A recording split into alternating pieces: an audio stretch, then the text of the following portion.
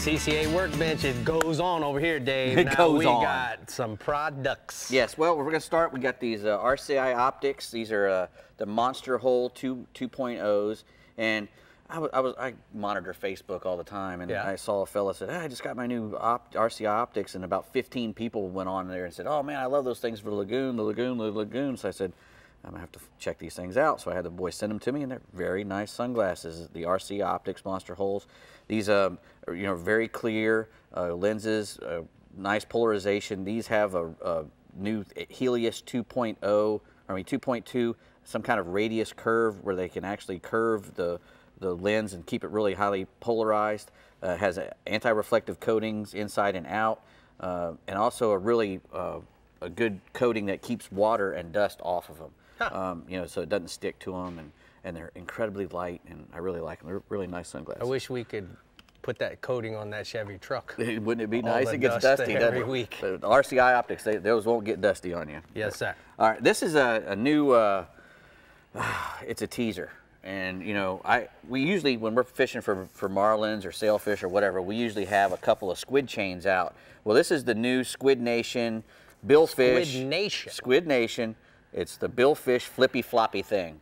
And that's what they call it, is the billfish flippy floppy thing. There's two of them here. And what we'll do is we'll run this off the, you know, off the fly bridge on, on a on a fly bridge teaser reel. Right. And we'll hope that a sailfish or a blue marlin will come up to it and, will, and eat it. You know, they'll either have squids off the back of these things, or two or three squids off the back, or they'll have a bird like this one. This one's got a bird on the end. Oh, the bird. is the word. So, you know, and what that does is when they, they come up there and, and, and take a look at that thing all flipping, flopping around and want to take a look at it and eat it. And, and danged if they don't, because it's amazing. I wouldn't, you wouldn't even think that something would even come near that thing, but Can you they come- imagine sitting at the design table? So we're going to name this thing. The flippity-floppy Shit, I don't know, flip floppy something. Now, now we had these on a second ago. These are the Ray Rosher's uh, new, they're fluorocarbon uh, tournament grade. These are the tournament grades, Oh. and these have eight hooks. You remember t- you st- even uh, old, uh, what's his name? Jimbo. Jimbo. He was talking about the, you know, filling up the six hooks. Well, these have eight. Eight. And all of, all of these R and R's now have eight. There's the fluorocarbon with the six pound uh, main line and a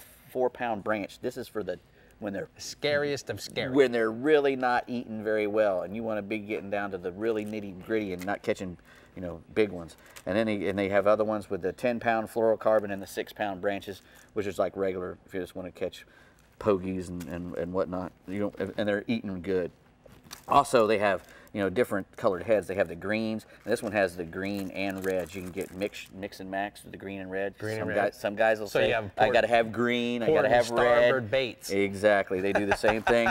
well, the guys are very, you know, guys get their sabikis. They get real. You I know. know. They, they, So what else you got? Some rubber also, bands there? Also, well, these are the rigging bands. These are new from R&R as well, and these are made out of this incredible stuff. They make them in black and clear, but these are the rigging bands that you put on your live baits. You use a little needle and put them through their nose, and this, this stuff is almost indestructible. It won't it hardly break. It's hard to break these things. Dave, So I you- just know where you're going with this. If you hit me I won't hit you with one. that thing, I won't hit you with one.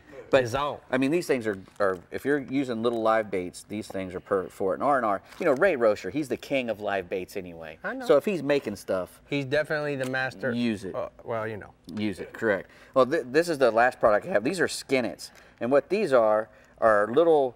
Uh, it's, it's, it's, it's like a ballyhoo condom. I'll tell you what it is. It, it goes. It goes. You heard me.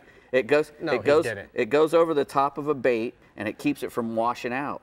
You know, you put this thing down over your finger, and then you roll it off, and you put and you put it back through the hook.